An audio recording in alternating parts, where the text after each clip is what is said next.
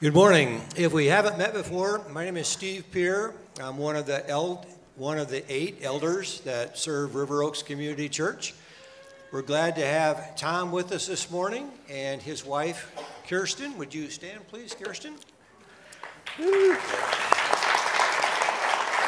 So, a few months ago, our pastoral coach, Newt Larson, suggested we reach out and consider an interim pastor. And we reached out and started talking to Tom in early April. We had a few video chats with him as the elders.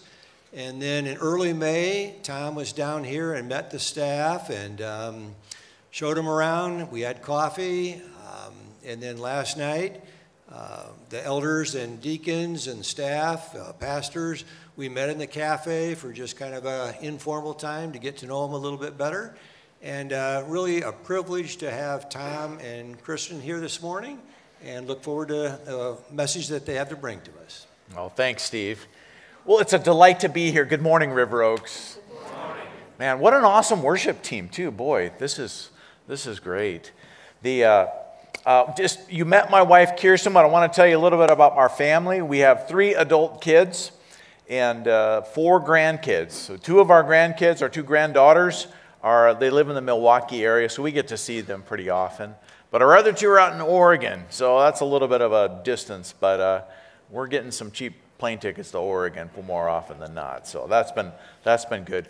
We're originally from California, so we're transplants. We moved to Waukesha, just outside of Milwaukee, in 2010.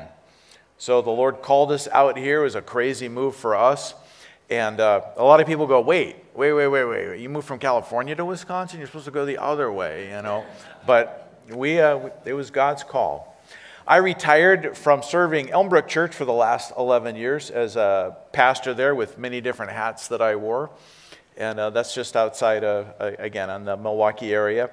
And, uh, uh, but many years ago, uh, when I was in my late 40s, I was a part of a church network in California that, where one of our churches needed an interim.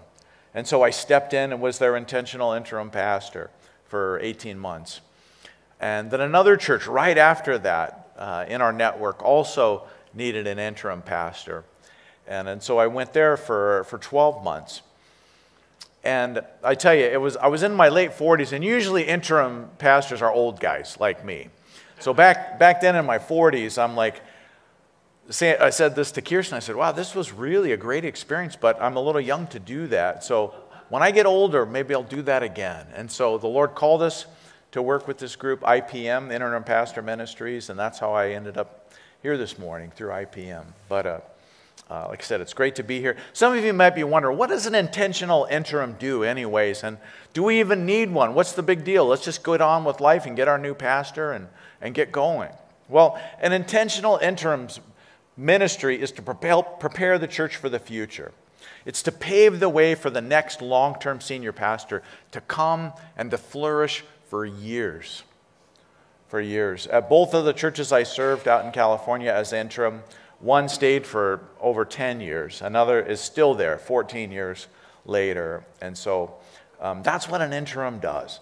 It helps kind of clear the decks, it helps rebuild trust, it helps um, address issues that maybe have, need to be addressed. And, and, and being an outside guy, uh, I'm a little, I have a little, uh, uh, an advantage of, hey, I'm not, I don't have a dog in the fight. You know, I just want to be here to serve and I want to listen. And so that's what a lot of what an interim does is, is the first couple of months I'm going to be here would be simply asking a lot of questions, getting to know a lot of you, getting to know your stories and what really needs to be addressed as a church. What do we need to, uh, what needs to be resolved?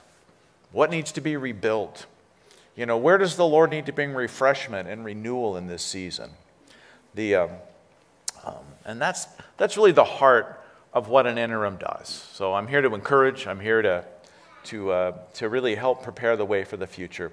But the other thing that I want to say, and this was our attitude at the last two interims that we did, was like, this isn't pause button for the church. We're not just on pause for right now. We're going forward, full steam ahead. That's the, that's the, that's the heart of good interim ministry is church is church, and we and people still need Jesus. We need to worship Jesus. We need to serve Him.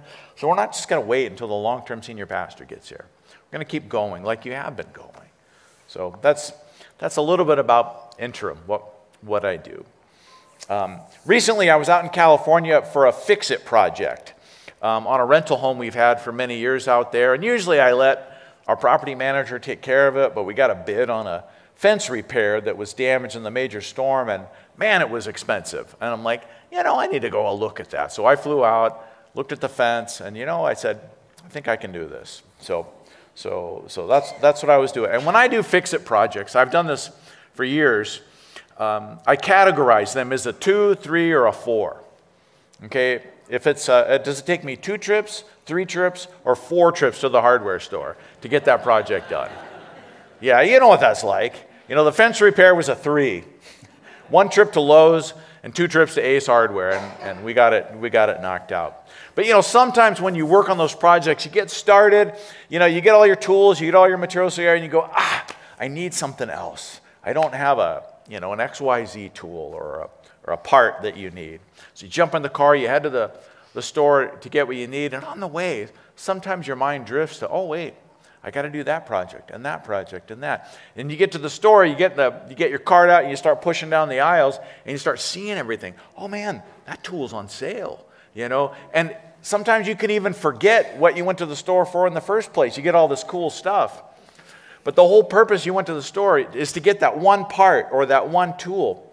But it's easy to forget our original purpose. And that's what I want to talk about this morning our original purpose about God's purpose for you and I. What does He want to do? Why are you and I here? What is His purpose for us? You know, I think this is a, a valuable topic to talk about at any stage of life. It really is, because just as we forget what part or tool we need at the store, we forget why we're here. And we get distracted, we get taken off course, we get excited about something, maybe a new hobby, or we move and we're doing remodeling or changes, you know, life changes can woo us away and distract us from our main purpose. This morning, I want to talk about God's purpose for us. And God's purpose, not our individual purpose for God in our lives, because we all have little unique spins on where God is calling each of us, but that overarching purpose, that one path, that one goal, that one dream that God has for all of us.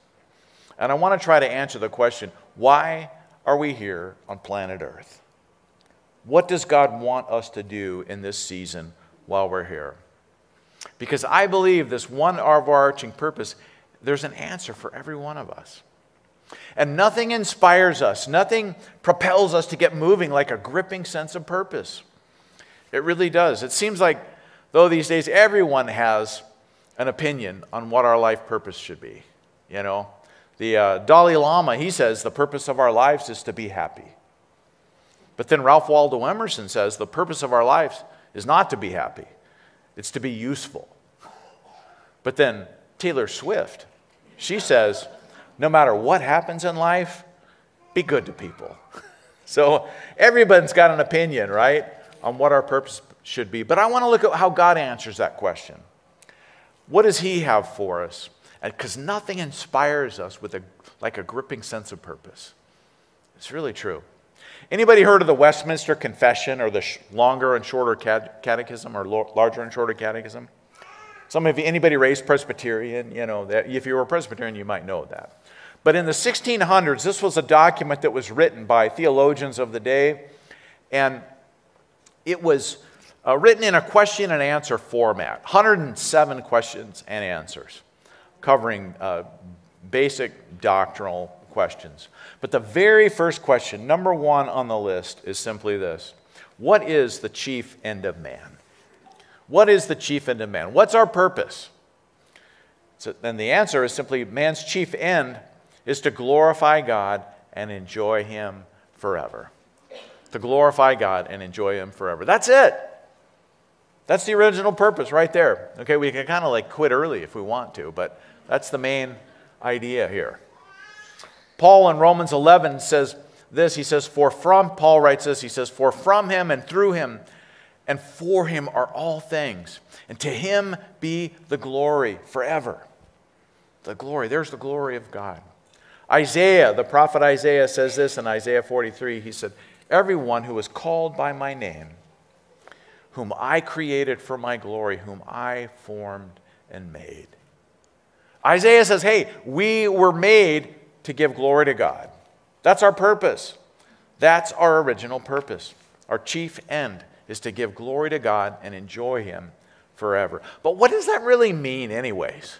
And how does that inspire us in the first place? If this is our life purpose, how do we actually give glory to God? What are we supposed to do differently? And what is the glory of God, anyways? The word glory today, you know, it has kind of negative connotations, doesn't it? You know, you talk about somebody, oh, that guy's trying to get all the glory, you know, or that guy's a glory hog. You know, it's not good. It's not a, it's not a good sense. But if we really want to understand or have a life purpose that grips us and inspires us, we need to know what is the glory of God? What is God's glory, anyways? Old Testament has some great definitions. The Old Testament word common uh, for the word glory comes from the Hebrew word kavod. And kavod is a cool word. It means heaviness, it means weightiness. And metaphorically, it's greatness, it's splendor, it's majesty of God, all rolled into this one concept, kabod, the heaviness of God. In the New Testament, the word for glory comes from the Greek word doxa. And doxa means um, a manifestation of light, of radiance, of brightness, of splendor. And so you have weightiness on the one hand, and then this brightness describing the glory of God. So, glory is both weightiness and radiance. You know, we see, we see lots of examples of glory in the Bible as a demonstration of great power, of great power. But we also see the glory of God in the quietness of creation. Just in the quietness of creation. Well, let's take a look how God reveals his glory to us in great power. And we're going to if you have your Bible, turn to Exodus 19, or you can cheat and look at the screen, you know, or pull out your device and, and pull it up. Exodus 19, I want us to look. What is the glory of God here? All right. Starting in verse 9, Moses says this, or the Lord said to Moses, rather. And this setting here, the children of Israel, they've just come out through the Red Sea. They were slaves in Egypt for 400 years and they're headed into the wilderness on their way to the promised land. And they stop at the foot of Mount Sinai. And some estimate that there's roughly 2 million Israelites there, okay? And so God's calling Moses to come up on the mountain, but the rest of the people are down below. And it says, The Lord said to Moses, I'm going to come to you in a dense cloud, so that the people will hear me speaking to you and will always put their trust in you. And on the morning of the third day, down in verse 16, it says this it says, And there was thunder and lightning with a thick cloud over the mountain and a very loud trumpet blast. And everyone in the camp trembled. I mean, can you just imagine? I mean, this cloud and the earthquake, I mean, it's just intense. Then Moses led the people out of the camp to meet with God, and they stood at the foot of the mountain. It says, Mount Sinai was covered with smoke because the Lord descended on it with in fire. And smoke was billowing up from this fire. I mean, it was just, just crazy. This was just crazy. And it says the whole mountain trembled violently. And as the sound of the trumpet grew louder and louder, Moses spoke, and the voice of God answered him. And the Lord descended to the top of Mount Sinai and called Moses to the top of the mountain. What were the people seeing? They were seeing the glory of God right there in front of them in power. I mean, and it was just intense. It was intense. And when Moses came down the mountain, he gave them the Ten Commandments, a few other commandments. And, uh, but skip over to, skipping over to chapter 24, he says this. Whoop. Chapter 24 says, When Moses went up on the mountain, and the cloud covered it, and the glory of the Lord settled on Mount Sinai. Right there, right in front of him. I mean, what a display of his greatness, of his presence, right there. And it says, For six days the cloud covered the mountain, and on the seventh day the Lord called to Moses from within the cloud.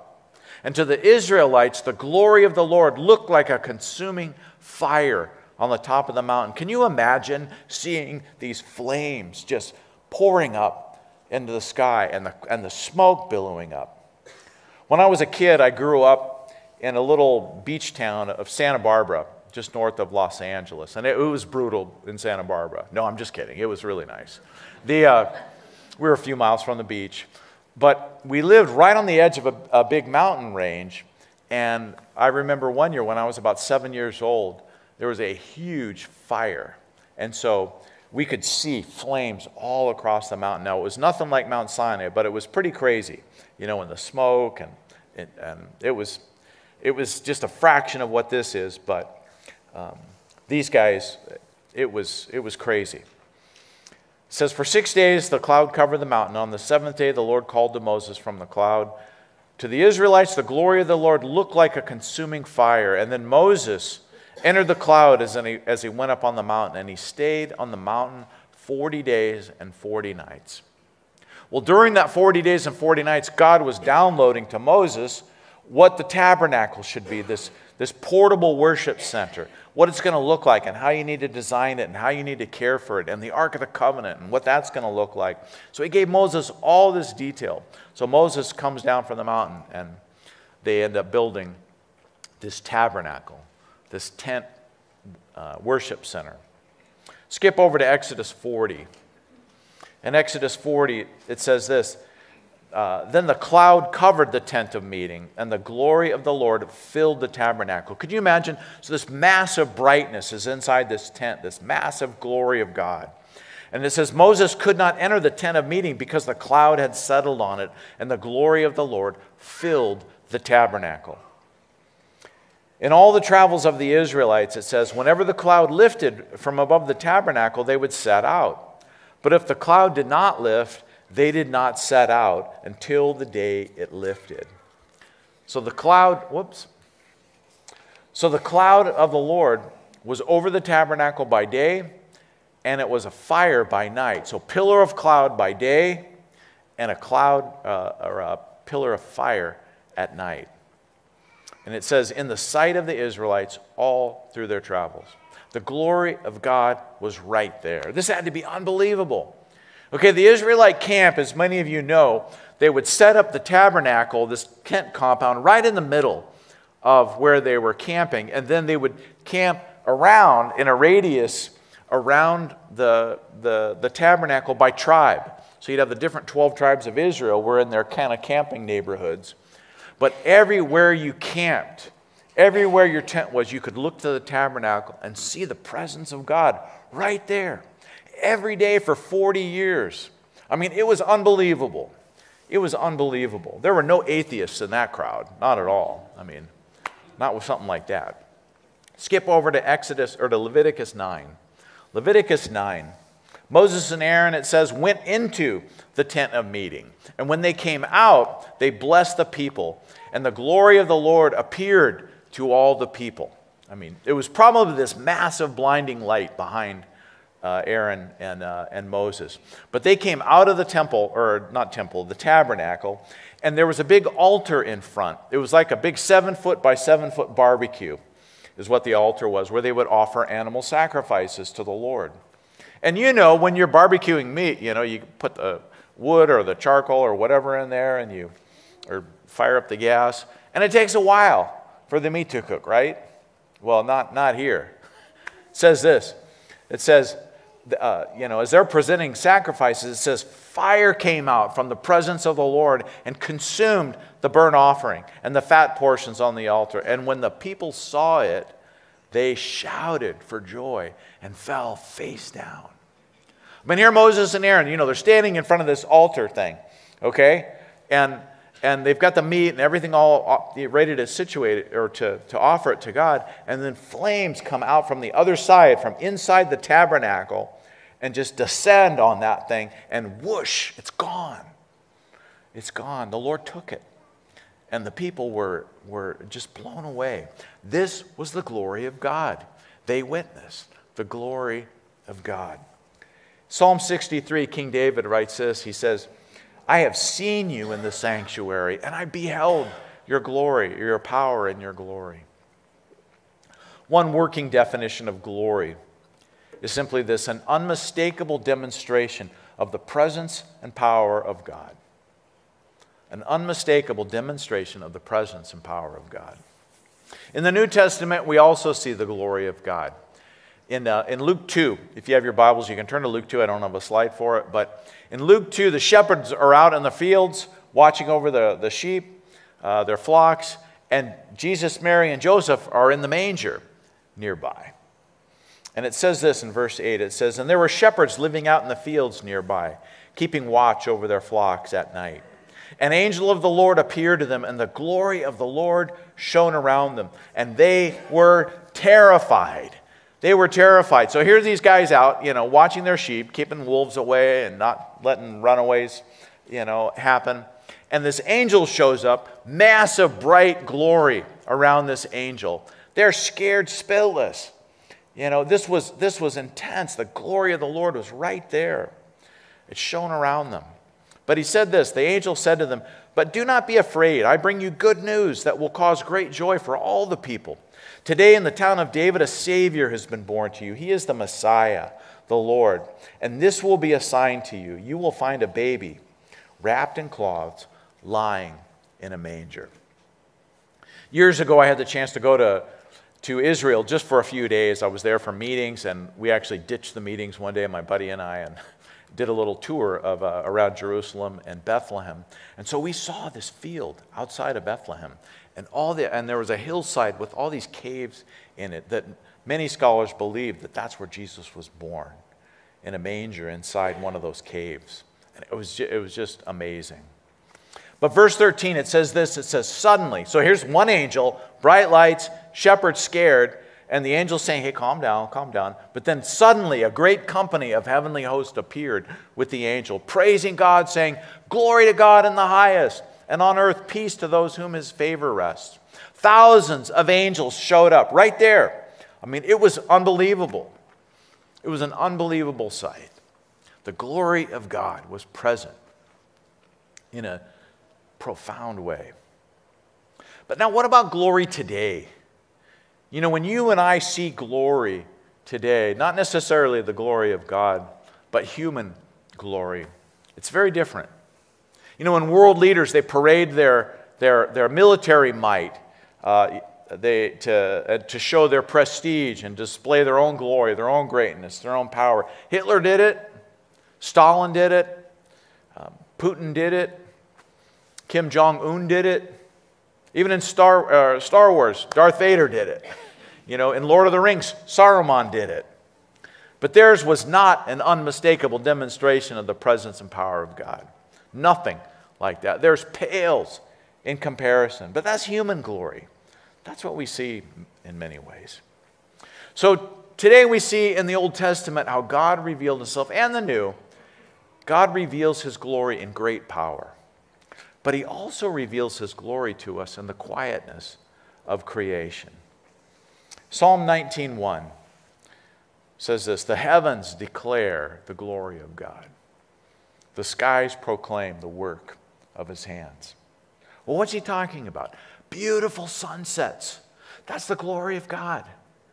That's a display of the glory of God. Magnificent cloud uh, formations, or the aurora borealis, or a summer night that's just aglow with stars, or a bright full moon. All of those are flashing the glory of God.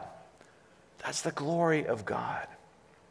Numbers 14:21 says the glory of the Lord fills the whole earth. It fills the whole earth. When you think about the vast oceans, the glory of God, or majestic mountain ranges, the glory of God. Anybody been to Yosemite Valley? The glory of God. Years ago, when Kirsten and I were first married, she said, Hey, we should go to Yosemite. And I said, Yeah, you know, I've never been to Yosemite before. You know, I'm 30 years old. We got married a little bit older. And uh, lived in California my whole life. I was actually born in Canada. Eh? So I was born in Toronto. And, uh, but we moved to California when I was like one. And so that's pretty much all I've known. But my family, we used to go on vacation to Lake Tahoe. That was our big deal. My mom and dad, they loved the slot machines and the casinos in Lake Tahoe. You know, and so that we get both. We get nature and then we get mom and dad to be able to go to the casino. So Kirsten's family, on the other hand, was more, you know, altruistic. They went to Yosemite and camped, and uh, uh, all growing up as a, as a little girl. And so she couldn't wait for me to experience Yosemite. and so we're like, you know, 30, 31, got our old Toyota Corolla all loaded up, got our bike rack on the back, got our mountain bikes, got our, our tent we got for a wedding present. And so we're cruising into Yosemite, and you come around this one bend, and there's a pullout there, because that's when you first see the valley. And you, the reason there's a pullout, because you would have cars smacking into each other, because it is just, it blows you away. You pull around the corner, and boom, this valley, this giant, massive granite cliff of El Capitan is right there. And on the other side, you have a Half Dome you know, and all the falls. I mean, it's just amazing. But it's the glory of God because God is the designer, God is, God is the creator. And that's his glory on display in the whole earth. The glory of the Lord fills the whole earth. But that's just a snapshot, really, of what the glory of God is. So, how do we give glory to God, really? I mean, on one sense, it's a, whoop, getting ahead of myself. In one sense, you know, how in the world can we contribute to the glory God already has? I mean, we're chump change, right? No. No, you and I can give glory to God. It's something we can actually tangibly give to Him glory. One of my good friends, Warren, was uh, vice president for Taco Bell, uh, for mar- vice president of marketing for Taco Bell for years. And uh, he, had a, he has a lot of great Taco Bell stories. Remember the little Chihuahua guy, Yo quiero Taco Bell. You know, um, there are some really good ones. But um, anyhow, uh, but Warren was an expert in understanding what motivates and drives people, being a marketing guy. And one time he told me, he said, You know, people are motivated by one of three things the three G's. Three G's. Some of you know what the three G's are gold, glory, or God. Motivated by, by gold, by money, is what fuels us. Glory, we want the fame, or God, something like a higher purpose. One of those three. But what God's word's telling us today is let God's glory be your higher purpose. Let God's glory be your higher purpose, the ultimate motivating force in our lives. You see, God is glorified when we see Him as He truly is and we respond accordingly. When we see him as he truly is, then we respond accordingly. He is glorified. Two words, two cool Greek words in the New Testament that help us understand how we glorify God. The first one is megaluno. Megaluno means to declare great, um, to enlarge, to increase. That's another, that's a key idea around giving glory to God that we declare him great, that we enlarge or increase um, who he is. Number two is doxazo. Doxazo means giving high status to or enhancing the reputation of. That's, a, uh, that's doxazo. In other words, we're really talking about when we give glory to God, it's how to make him famous, how to expand his reputation. Now, why do we even need to do that? I mean, don't people know who God is? No, they don't. They really don't know who He is. He's not Santa Claus. He's not the old man upstairs. You know, He's Jehovah. He's the Lord of heaven and earth. And we glorify God in two primary ways, two key ways. Number one, through our worship. Through our worship. Psalm 69 says this I will praise God's name in song and glorify Him with thanksgiving. I'll Praise Him in song and glorify Him with thanksgiving. Psalm uh, 29 says, Ascribe to the Lord the glory due His name. Ascribe to the Lord the glory due His name. Worship the Lord in the splendor of His holiness. The psalmist here is talking about true worship, where we give back to God. You see, when we declare in song how great and awesome He is, we're giving worship and giving glory to God. You know, we don't do a lot of teaching in, in church on worship these days. Uh, we do a lot of worship, but we don't teach a lot on it. But true worship, true worship happens. True worship happens when we really believe the words that we're singing and they flow out of our heart at full velocity. When we believe what we're singing and they flow out of our heart at full velocity, regardless of whether the style of music is our preference or not. It's the words. It's the words.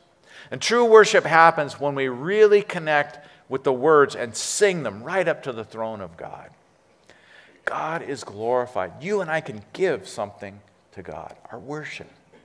We can give glory to Him by our worship. Okay, now I know in northern Indiana here that there are a mix of football fans, right? It's not monolithic. Uh, there's some Colts fans. Any Colts fans here? There's some Detroit or Lions fans here. There's even some Bears fans here. Bears fans? Yeah. Okay. Now, I've heard, rumor has it, there's even some Packers fans here in northern Indiana. So I'm a Packers fan, no, uh, no denying that. And for me, true worship is kind of like sitting on the 50 yard at Lambeau. You're sitting on the 50 yard at Lambeau during a playoff game, and the Packers are down by four points with five seconds on the clock. I mean, it's just intense. You know, by four points, five seconds on the clock. It's fourth down. Jordan Love takes a snap. He drops back, drills it to Aaron Lazard in the end zone. Touchdown. What happens next? Well, Lambeau erupts. The stadium just erupts in praise of victory. I mean, it's amazing. Hearts are spilling over with shouts of acclamation. Nobody's complaining about that boring halftime show. Nobody's complaining about the stale beer you know, or what happened or didn't happen in the second quarter. They won, and that's all that matters. That's it. You know, and in many ways, that's a lot like a worship service could be with that level of enthusiasm, with that level of praise. Ascribe to the Lord the glory due his name. Never let the style of music stop you from worshiping the Lord. Never let it stop you from worshiping the Lord. So, number one, we bring glory to God by our worship. Number two, we glorify God by our attitude and how we live. We glorify God in our attitude by how we live. When we live in a way that points to God's goodness and compassion. 1, 1 Corinthians 10:31 says this. It says, So whether you eat or drink or whatever you do, do it all for the glory of God. Do it all for the glory of God. So, what does that include? Pretty much everything, okay? Everything you do. What God's word is saying here is now, I want you to refocus why you're doing your job, why you're caring for your kids, why you're loving your neighbors. To do it in a way that gives glory to God. That's what he's saying. Jesus said in Matthew 5:16, he says this, he says, "Let your light shine before others, that they may see your good deeds and glorify your Father in heaven." You know, it's interesting, he doesn't say they may see your good deeds and think how cool you are. No, that they may see your good deeds, how you're loving, how you're caring, your compassion, and they'll glorify God in heaven. Peter says the same thing, very similar thing in, in 1 Peter 2. He says, Live such good lives among the pagans that though they accuse you of doing wrong, they may see your good deeds and glorify God on the day he visits us. When we glorify God, rather, we glorify God when we live in a way that makes him famous. When we live in a way that makes him famous. And God is made famous when people see his followers as beaming, radiant examples of his goodness, of his compassion of his love. We glorify God by how we live. So, whatever you do, whether you eat or drink, do it all for the glory of God. Well, it's no secret that I love pizza. Okay, I do. I just, it's a, uh, you could call it a spiritual gift. No, not really. Don't call it a spiritual gift. But a well known pizza place where I live up in uh, Waukesha is called Marty's Pizza. And Marty's Pizza, and they make really good pizza. But after one of our services at Elmbrook Church, where I just served, a Marty's Pizza delivery guy came up to one of my colleagues And he recently went to one of our No Regrets men's conferences that we host every year. And, uh, and he told him, Man, I, I went to the conference and I loved it. And so my colleague could tell he was kind of newer to faith. And so he asked him, How did you start coming to Elmbrook? How did you start coming to Elmbrook? And well, he said, You know, I, I work for Marty's Pizza, and I've delivered a lot of pizzas to Elmbrook over the years. And he says, Every time, they've been, everyone's been so nice to me and so kind. It blew him away. And so I had to come and check it out. What's going on here? Why are people so different? Isn't that cool? Isn't that cool? It was the everyday kindness, the God glorifying kindness that drew him to the Lord, our pizza delivery guy. And that was awesome. So, whether you eat or drink or whatever you do, do it all for the glory of God. Will you bow with me in, in prayer? Father, thank you. Thank you for including us in your plan of glory, Lord, that we can even give something back to you, that we can glorify you, that we can praise you. And we just thank you. I pray, Lord, right now, I just entrust River Oaks to you, the River Oaks family, that you would move in this next season in such a powerful way that we would bring glory to you like never before. God, that this would be a new season, a refreshed season. Lord, of bringing glory to you in whatever we do, we pray. And thank you now in Jesus' name. Amen.